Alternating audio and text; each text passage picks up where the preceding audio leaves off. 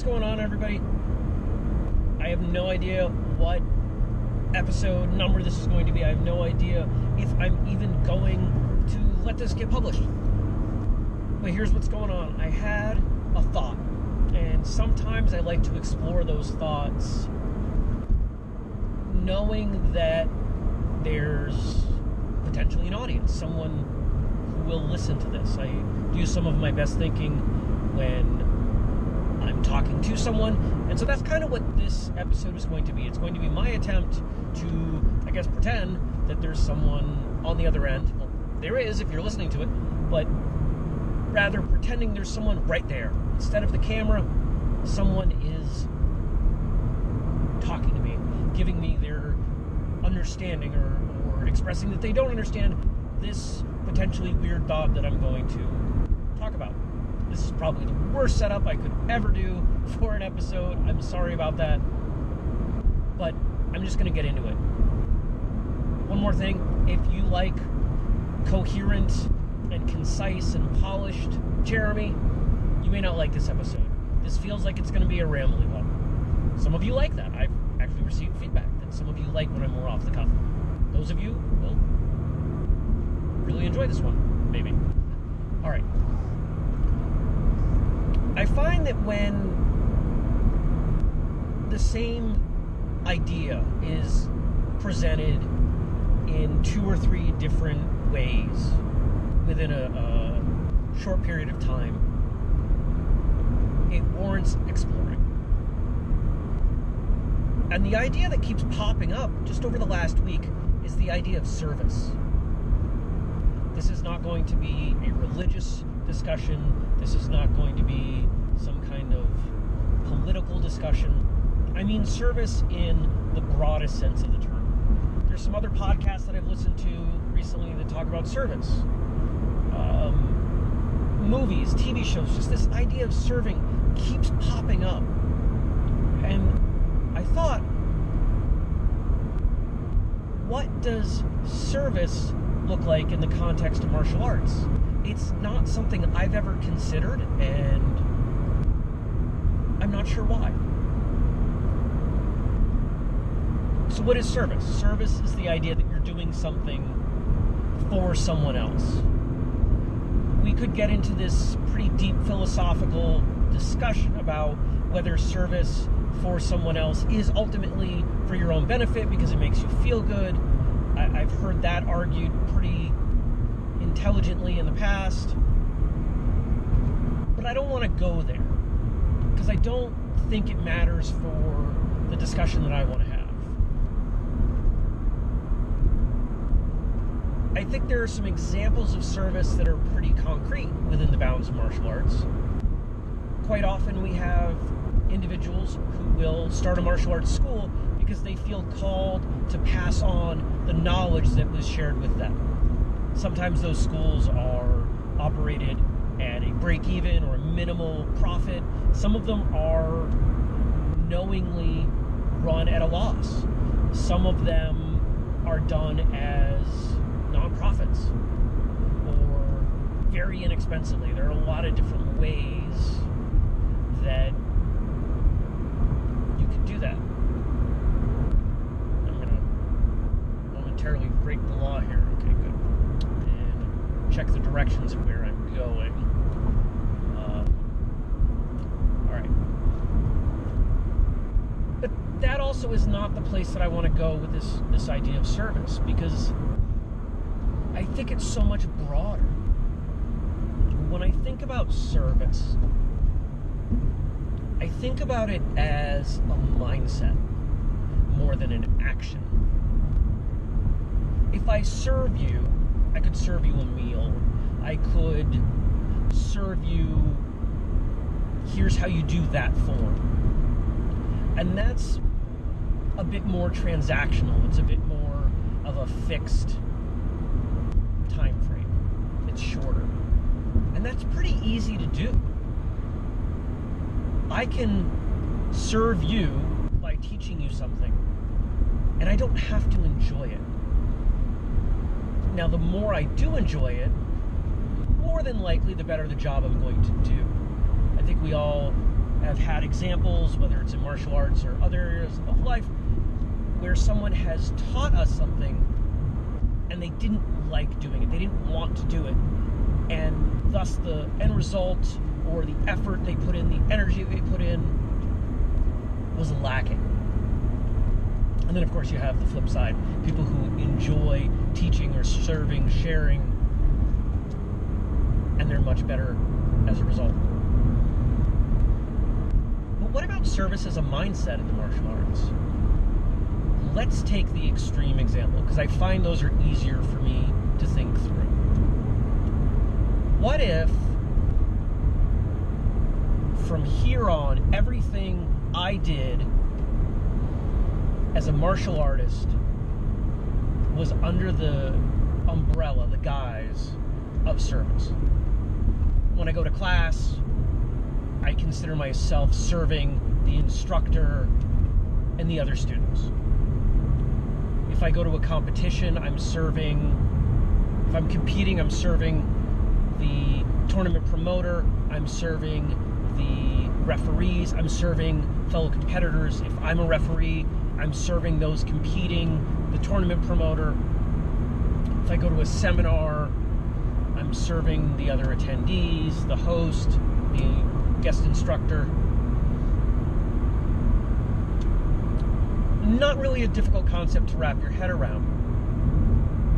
And certainly you could do that in that way. Half a mile, turn left onto US 2 West. If someone was really inclined, you could probably go back in time.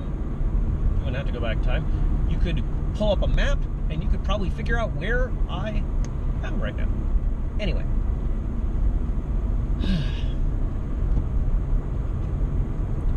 But I think The next left onto US 2 West. taking the next left onto US 2 West. If you also don't enjoy the voice from Google Maps, you will not enjoy this episode. All right, hold on. Let me check my. There we go. Bam. All right, good. Continue on US 2 West for 5 miles. This is the downside to me recording these episodes in the car.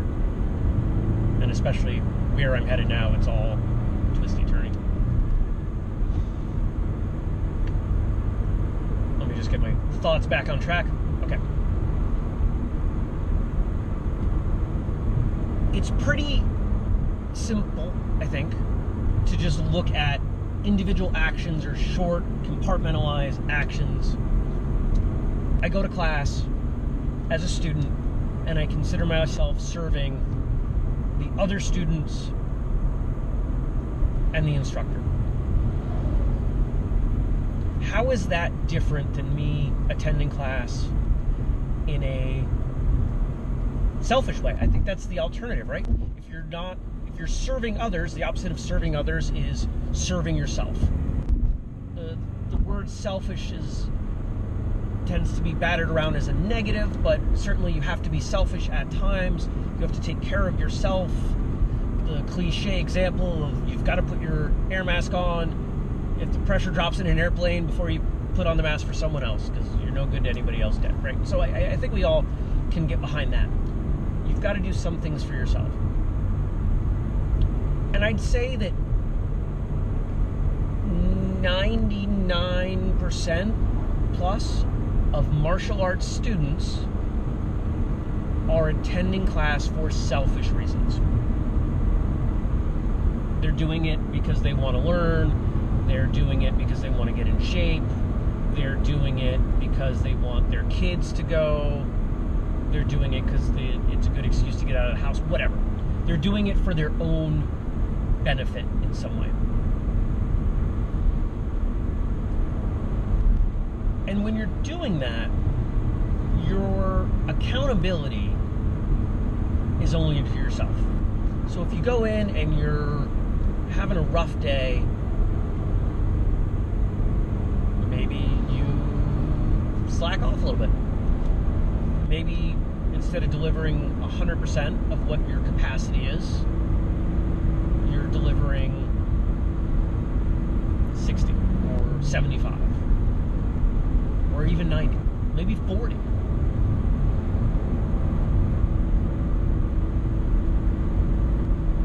But if I'm there for the for other people, if I'm there to serve, maybe I'm one of the higher ranks in the school, as I am personally, and I want to set a good example in the front row for everyone behind me. I want I want to make sure that I'm modeling technique and behavior that the other students will be able to look to as as an aspirational example of technique of conduct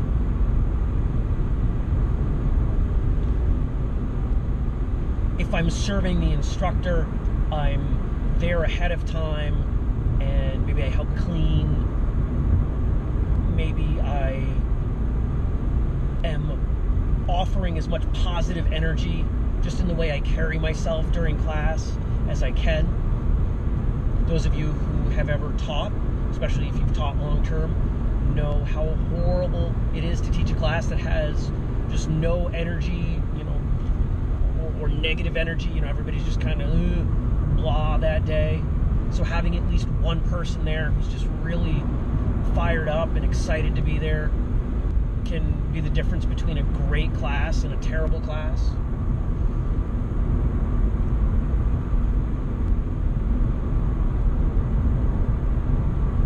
And if I'm serving others in my attendance of class, the fact is I'm going to get more out of it.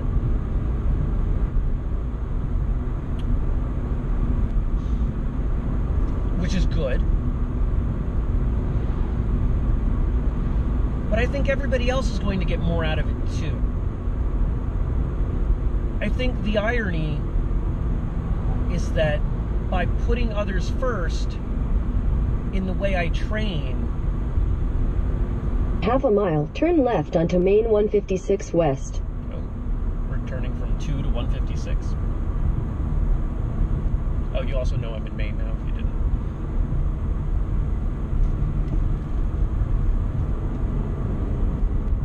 So the irony that I'm going to get more out of it by putting others first the next left onto Maine 156 West.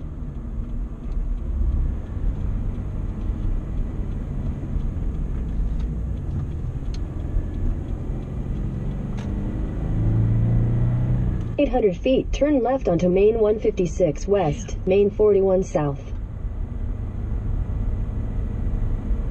Take the next left onto Maine 156 West, Maine 41 South, then turn right onto Maine 156 West.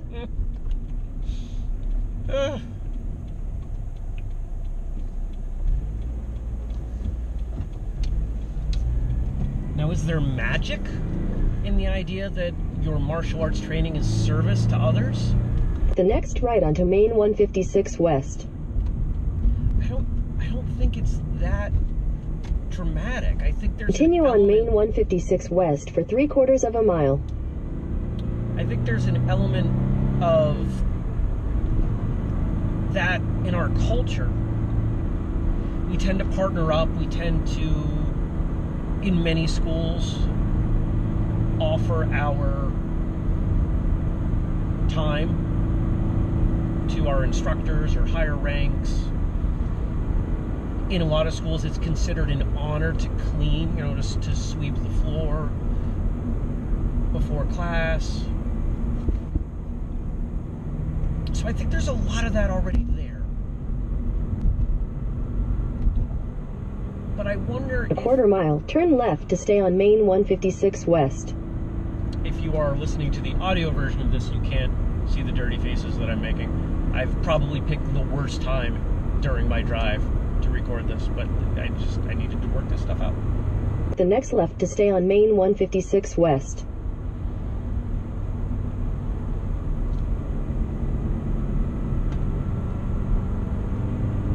Continue on Maine 156 West for two miles. It wasn't even a left, silly Google.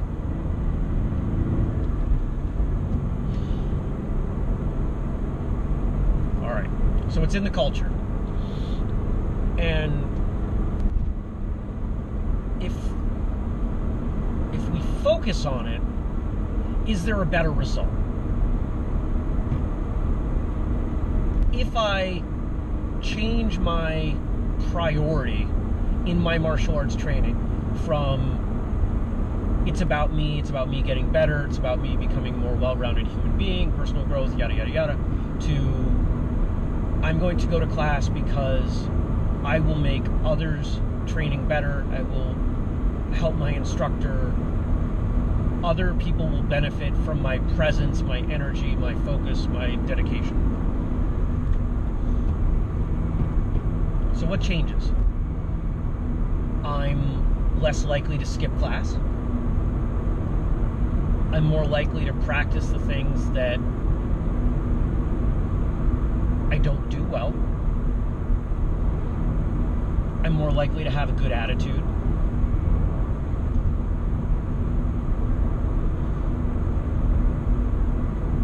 Are there negatives? I may work on the things that are important for other people's development. Half a mile, turn left to stay on Maine 156 West. Or things that my instructor wants me to work on that maybe I'm not as interested in. Maybe my self exploration of martial arts or my, guess, experimentation of my own personal martial arts The next left to stay on Maine 156 West, then turn right to stay on Maine 156 West. flavor. Hey, you know what I can do? I can turn this way down. Sorry. I typically play music while I'm driving, so the the stereo is up at the level that it was when I had music. Actually, it was podcasts. So yeah, I guess there there are some minor negatives in there, but they're they're pretty negative. So what do I do with this? If I see overall benefits in treating my martial arts training as service The second right to stay on Maine 156 to West. others,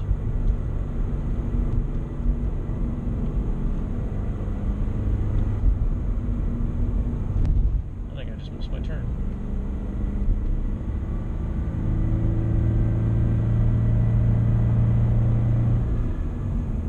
Continue on Zion's Hill Road for three miles.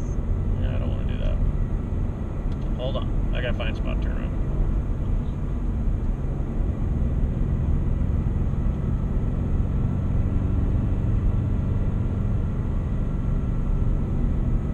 Missing that turn in the backwoods of Maine could add 30 minutes to my drive if I don't turn around. So I'm gonna do that. Come on. I try not to turn around in people's driveways. A lot of people don't like to turn around in their driveway. That's really all I'm saying, though.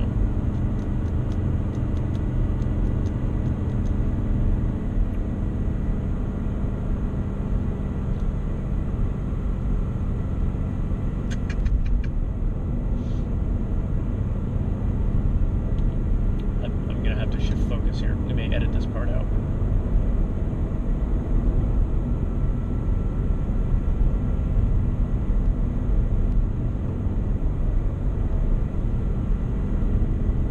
There's always a turnaround. Or a road. Here, we're gonna pretend this is a road.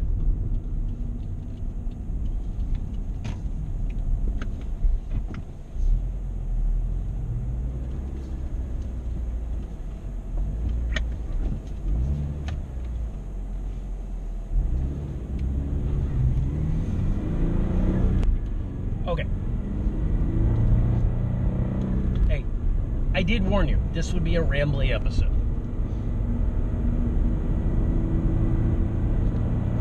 So I'll roll back my last question. What do I do with this information? If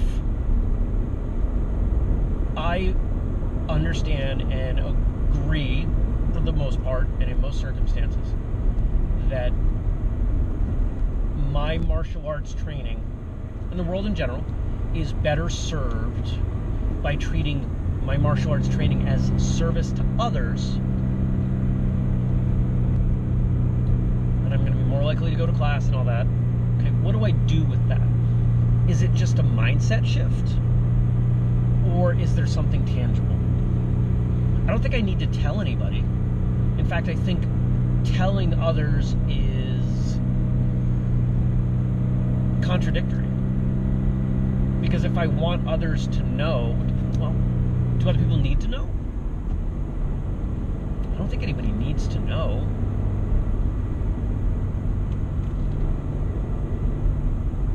I think in telling other people, it, it looks like you're you're looking for something. The you're, next left onto Maine 156 West. you're looking for a pat on the back. Continue on Maine 156 West for 6 miles. Okay, we get six miles uninterrupted. I don't need a pat on the back to do it because that's that's the opposite of service, right? True service is done without something expected in return.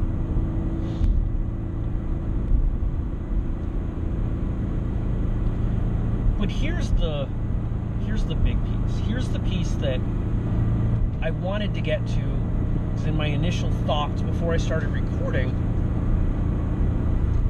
I think this may not be. There we go. Hopefully that's a better angle. Sorry if it turned too much. Is there time when my service mindset is going to give me something that my selfish mindset can't? And I think yes. One of the subjects that's come up occasionally on the show that comes up far more behind the scenes. I have these conversations with guests often. Is the idea of boredom or taking a break, things like that. We've, we've tackled that on the show. And when I think about the people who express that they they never get bored, that they never take a break, the ones that have felt that way for a long time, I, I believe universally have their own school. And when I think about those people and their personalities, it's the ones that I can dig into who they are, they do it because they love it. They feel, I think, responsibility to it.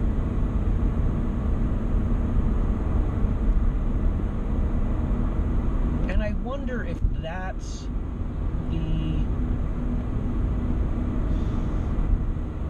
secret's not the right word. Kind of this hidden idea for longevity in the martial arts is that you're serving others. When I think about this show, I consider it a service to the community. Yes, there's absolutely commercial reasons. I, this show started for commercial purpose. But the only time shows have failed to come out, the one, two, there were two, two times that a Monday show did not come out. I will. It was a Thursday show. Two episodes did not come out. Uh, one was leading up to the whistlekick Martial Arts Showdown in 2016 because I was so overwhelmed. And then there was a technical issue this past February 2018 where some recorded episodes were defective. and We had to re-record. But I was away. I was on vacation and didn't know with enough lead time to do anything about it, so we just didn't do an episode. But it's really easy for me to find the motivation to do these episodes. Now, I won't lie, there are times where there are other things I would rather do. I'm not going to say that service to others means that the actions suddenly become your greatest desire. But I think it helps affect the priority of your actions. I've done four episodes in a day. Maybe not four. I've definitely done three interviews in a day.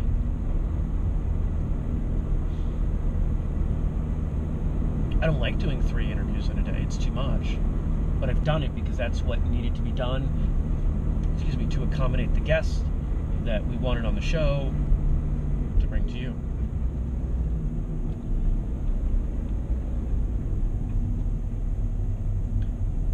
I think I've taken this as far as I can, but it's something I'm going to continue thinking about. And I would love for any of you out there who are still listening or watching to let me know what your thoughts are. Is there something here? Am I just stumbling onto something that everyone else knows? I don't know. This has never been articulated to me. The idea of martial arts training, eh, the motivation for it being service to others.